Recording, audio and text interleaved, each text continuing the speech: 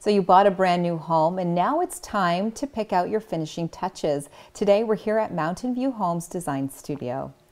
Steve, we're here at Mountainview's design studio, and I know that with Mountainview, you get up to six hours with a designer to which help. Which is great. Which is great because it takes away that anxiety and that overwhelming feeling.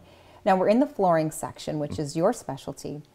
How does the design studio differ from going into your store?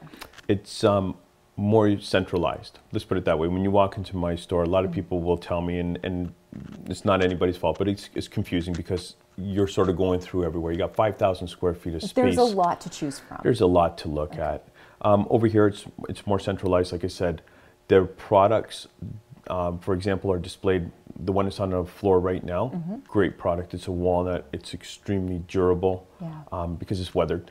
And you so, can see how it works with the room because they've used it throughout, like on different layouts and different scenes yeah. here in the studio. And it's not like you're going to walk into a model home per se, and you know you always see, please take your shoes off, and mm-hmm. what the mm-hmm. case is. This one here, you can actually walk on, and it's been down for I guess two years now. It's okay.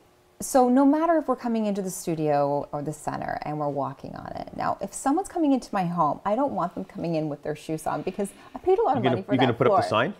Please if remove I shoes. Have to because I don't want the nicks that will come with with especially wearing right. heels on right. a hardwood floor. Heel, actually, on this floor in particular, the heels themselves will complement the floor. They're going to just add more feature to this floor. That's how that's how unique it is. Oh, okay. So it's, it's durable. Going back to the durability. Ultimately durable. So okay, so we have a durable floor that we get to choose from because many of us that's what we want to hear. Mm-hmm. That it's going to stand up to our lifestyle and our family that's happening in that home. But the way that it's it's the laid out here in the design center, you have your carpeting, and then we have our our different types laminates, of yep. laminates hardwood. and the hardwood flooring.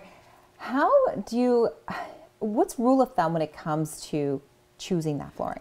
Well, rule of thumb would be based on what the standards are that are offered available. If you're working with your designer and they're giving you six hours, is plenty of time to put a few packages and, and, okay. and schemes together for you. And then obviously mixed in with the products are your upgrades. So it's just you're so centralized right here in this mm-hmm. one location that you can easily switch out something and put something in so and then ask for a quoted price. Okay, so we yeah. have our standards that we get to choose from, plus we have an upgraded yep. as Everything's well. Everything's all right here. And it, it's it's kind of limited where it's a good thing because sometimes when we have too much to choose from, it's a You're going to need more than six hours I if know. you have more selection than I this. think so. Yeah. Well, thank you very much. And if you would like more information on flooring, you can visit vartanianrugs.com. Steve, thank you very much for your time today. Thank you, Tracy.